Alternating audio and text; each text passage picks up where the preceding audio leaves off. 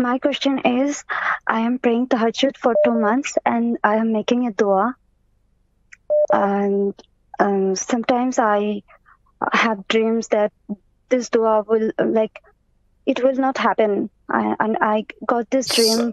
I, I just want to know should I uh, continue this dua if I'm not getting the answer? The answer is negative. So What is the I dua? continue? I'll try. I'll try to to figure it out. What is the dua you're asking? Shall I continue? Uh, um, like um, for um, marriage. For marriage. Okay. Yes. Yes. Okay. So you're not you're not married and you are supplicating to Allah to make you get married, correct?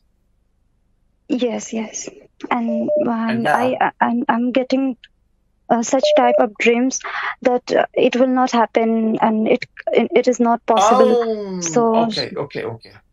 Let me tell you let me tell you a hadith that answers your question. Uh, the messenger of allah peace be upon him said yustajabu li ahadikum ya'jal.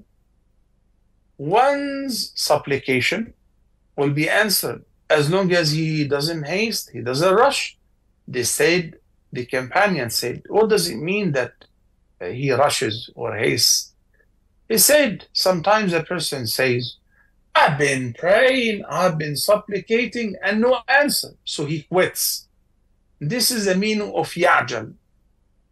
You know Allah the Almighty, لا يعجل بعجلة أحدكم. Not because you are in a hurry, okay, Allah will deliver immediately. Allah is the most wise.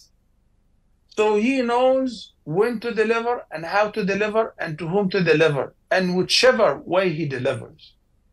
So what you need to do is keep praying, keep asking. Your supplication will be answered in one of three ways, as we explained earlier. And your supplication is already the greatest act of worship. So why should you quit?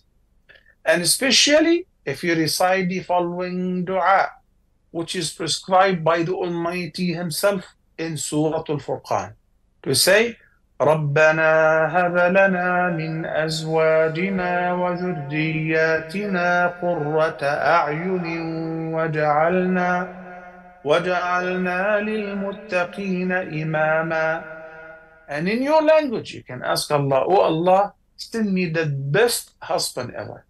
Send me a righteous man to be my life mate in the dunya and in Jannah as well.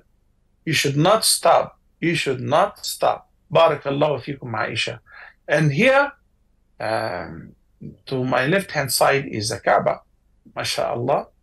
So I can say, I'm praying for you. May Allah grant you a wonderful and a righteous husband and a goodly offspring. Ameen.